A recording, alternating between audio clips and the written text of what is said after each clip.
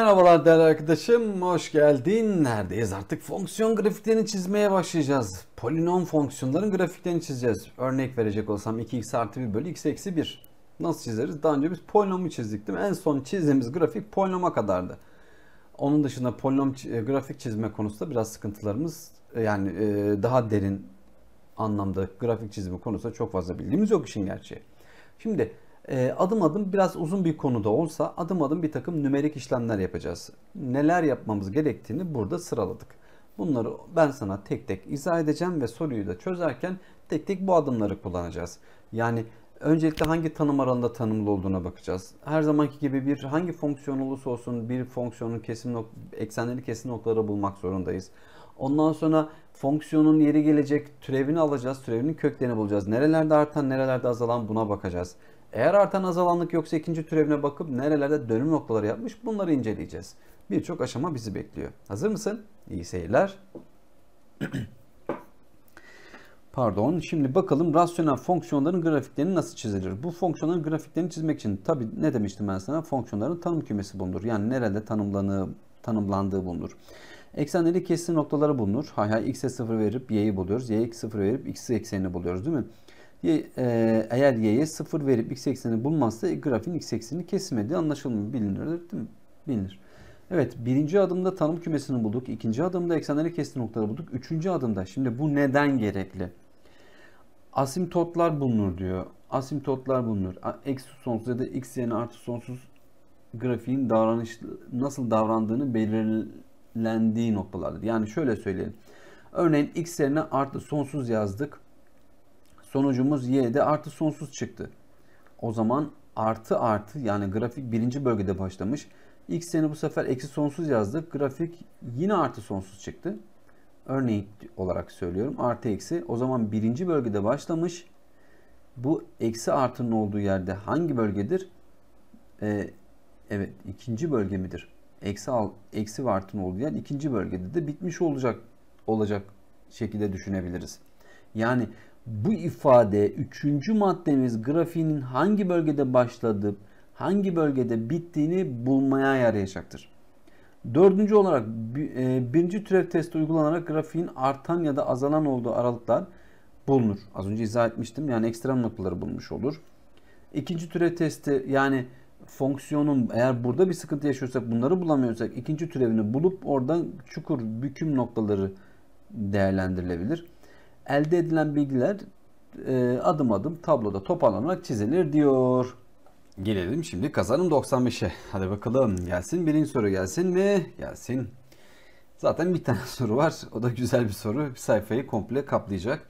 Ben sayfamı düzen kullanmak istiyorum. Şimdi ben öncelikle sana az önceki belirttiğim sırayı takip etmeden daha farklı bir sistemde sana burayı izah etmeye çalışacağım izinle. Şimdi e, tabii ki öncelikle nedir? Tanım kümemizi bulmak. Tanım kümemiz neydi? Paydayı sıfır yapan değeri reel sayılardan çıkartıyorduk. Tanım kümemiz nedir? E, reel sayılardan çıkart 1'i. Yani 1 olmayacak. 1 o zaman bunun asimtotu oluyor değil mi? Düşey asimtotu. Ondan sonra bizim yapmamız gereken şey ne vardı? Bir adım ikinci adımımızda eksenlerin kestiği noktaları bulmaktı. Yalnız ben onu bir sonraki aşamalar atacağım. İkinci aşamada şunu göstermeye çalışacağım. Bunu sana söylemedim ama burada bunu anlatmak istiyorum. Bunu anlatma, anlatmamın sebebi e, grafiğin nerede başlayıp nerede bittiğini. Az önceki bilgilerin içerisinde, içerisinde bu yoktu. Ben bunu eklemek istiyorum. Beni dinle. Limit x giderken yani şöyle düşünelim. Hiç buna girmeyelim. x artı sonsuza giderken y nereye gider? x gördüğüm yere artı sonsuz yazarsak sonuç artı sonsuza gider diye düşünebiliriz. Yani artı yazdığımız zaman y artı sonsuz çıkacaktır. Artı bölü artıdan artı. Peki x eksi sonsuza giderken eksi sonsuz o aşağısı eksi sonsuz böldüğümüz zaman yani belirsizlik olarak düşünme bunu işaret olarak düşün. Y'ye giderken o da artı sonsuz çıkar. O zaman artı artı grafik birinci bölgededir. Birinci bölgede başlar. Burası eksi artı grafik ikinci bölgede biter. Biter. Heh. Bu bizim sağlamamızdır. Bunu unutmayalım. Gelelim 3'e. Ee, hemen hemen birbirleriyle paralel olması açısından yatay asimtotu bulalım. Yatay asimtot neydi? Limit değeriydi. Doğru mu? Y eşittir 2 idi. Artık bunları biliyoruz. Aynı şekilde düşey asimtotumuz neydi? X eşittir paydayı 0 yapan değer 1'di. Zaten tanım kümesinden bunu çıkartmıştık. Asimtot o değere doğru yaklaşıp ama o değeri alamadığı yerde. Bunu bulduk. Gelelim 3. mad 4. maddemizde ne yapıyorduk? Eksenleri kesin noktaları. X'e 0 verirsek, X'e 0 verirsek y'miz eksi 4. Y'ye 0 verirsek X eşittir. Y'ye 0 verdiğimiz zaman X eşittir. Eksi 2 mi çıkıyor? Evet. X eşittir. Eksi 2 çıkacaktır. Hay hay. Şimdi ne oldu? O zaman eksi 2'ye 0 ve 0'a nedir? Eksi 4 noktaları mı? Evet. 0'a eksi 4 noktaları eksenleri kestiği noktalar. Asimtotları da bulduk. Şimdi o zaman gelelim farklı renkler seçersem karışmaması açısından. Gelelim 5. maddemizi türevini bulalım. Yani e, ekstrem noktaları var mı ona bakacağız. E, 2 çarpı x eksi 1 eksi x eksi 1 yani ikincinin türevi x eksi 1'in türevi 1 çarpı e, 2x artı 4 bölü paydanın karesi. Ne, nedir paydanın karesi? x eksi 1'in parantez karesi. Buradan düzenleyecek olursak eksi 6 bölü x eksi 1'in parantez karesi gelecektir. Bu da sıfırdan küçük olduğu için kök yok. Daima azalandır grafiğimiz. Unutmayalım grafiğimiz daima azalan olacak. Şimdi çünkü ekstrem noktası yok. Gelelim 6. maddemize. 6. maddemizde reel yani ekstrem noktası yoksa fonksiyonun neyine bakmamız lazım? Dönüm noktasına bakmamız lazım. Bir türev daha almamız gerekiyor. Doğru mu? Yani biz bunu şöyle düşünelim. f üssü x'i şöyle yazalım daha düzgün olsun. Yani daha rahat bulabilmemiz açısından x eksi 1'in parantezine eksi ikinci kuvveti. Bunun bir kademi daha türevini alırsak üst başa inecek 12 dereceyi bir azaltacağız. Çarpı için türev 1. Hay hay. Şimdi bu da ne olacak? 12 bölü x eksi 1'in küpü olacak. Eşittir 0 dediğimiz zaman kök var mı? Yine kök yok. Kök yok. O zaman ne olacak? Ee, bunu nasıl düşünebiliriz? Şimdi e, ikinci türevinde kökü yok. Ancak e, şöyle yorumlaya şöyle yorumlayabilir miyiz? Fonksiyonun artan ya da azalan olduğu yerleri. E, bunun da yine dönüm noktası yok. Ama nerelerde konkav, nerelerde konveks olduğunu düşünebilir miyiz?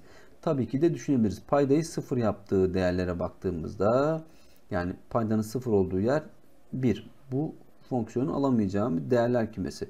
Şimdi ee, nedir? Eksi 1'in 1'in sol tarafında ifade negatiftir. Negatif olduğu için e, iç, iç bükeydir. Bu tarafta pozitiftir. Dış bükeydir. E, buralarda daima ne olacak? Grafik azalacak. Bunu biliyoruz. O zaman e, 1'in sol tarafında iç bükey, sağ tarafında da grafimiz dış bükey olacak. Şimdi gelelim artık grafimizi çizmeye. Bu grafiği nasıl çizeceğiz? Hay hay hadi bakalım. Şimdi tek tek bu yönergeleri tatbik edelim. Bir kere asimtotlarımız belli. Neydi değerli arkadaşım asimtotumuz? Ee, x eşittir x eşittir eksi 2 pardon x eşittir 1 ve y eşittir 2 doğrularıydı. O zaman hemen bunları çizelim. x eşittir e, 1 x eşittir 1 doğrusu ve y eşittir 2 doğrusu. Tamam. Hemen bunları da yazalım. Bunlar hangi doğrularsa x eşit y eşittir 2 ve x eşittir 1 doğruları. Şimdi tamam. Ee, x ekseni 0'a eksi 4'te yani eksi 4'te kesecek. Burası. x'i de eksi 2'ye 0 noktası. Eksi 2'ye 0. O zaman bu daima azalan değil mi? Daima azalan olduğu için buradan buna paralel bir şekilde gelecek değil mi? Buradan böyle geçecek, buradan da geçecek, buradan böyle ilerleyecek. Daima azalan işte. Ve burada nedir? Kon iç bükey. Az önce şurada gösterdiğimiz gibi değil mi? Birin sol tarafında iç bükey. Öbür tarafa gelecek olursak bu tarafta da hatta ve hatta bunu da farklı bir renkle yapalım. Bu tarafta da yine fonksiyonumuz daima azalacak olarak nasıl gösterebiliriz? Bunu şu şekilde çizecek olursak azalan olarak bu şekilde daima asimtota değmeden sonsuza giderek gidecek şekilde ifade edebiliriz. O zaman grafiğimiz ne oldu? Burada dış bükey, bu tarafta iç bükey. Yani burada şöyle olmuştu, burada da böyle olmuştu. Pardon. Burada da böyle olmuştu. Bu kısımda, birin sağ kısmında da. Evet. Ne yaptık? Ee, uzun uzadıya bir şekilde tek tek yorumlayarak, e, analiz ederek soruyu çözümüne çözümüne ulaştırdık. Grafiği çözdük. Tanım kümesini bulduk. Eksi ve artı sonsuz için değerlerini vererek hangi bölgede başlayıp hangi bölgede bittiğini hatta ve hatta grafik üzerine bakacak olursak ekrana bakalım lütfen. Ben ekrandan çıkayım. Renk seçiyorum. Farklı bir renk olsun. Evet ekrandan çıkıyorum. Hangi bölgede başlamış değerli arkadaşım grafiğimiz? Tabii kalemin ucunu bulursam. Tamam. Hangi bölgede başlamış? Grafiğimiz birinci bölgede başlamış değil mi? Hangi bölgede bitmiş? Grafiğimiz ikinci bölgede bitmiş.